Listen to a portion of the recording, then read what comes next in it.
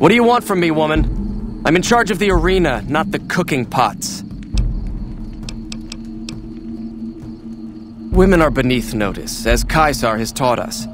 I'm only allowing you to speak to me because you are Caesar's guest. I may yet, if Caesar commands it. Go.